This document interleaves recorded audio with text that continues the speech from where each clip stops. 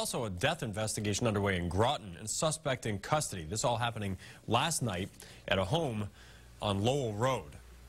Now, the Middlesex DA's office tells us the victim and suspect did know each other. We have learned the suspect scheduled to be arraigned tomorrow. For now, they're facing charges of assault and battery with a dangerous weapon, but the DA did add more charges could follow.